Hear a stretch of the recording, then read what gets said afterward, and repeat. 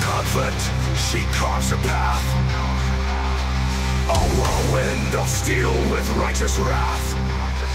In every port, her legend is told. Oh, the swift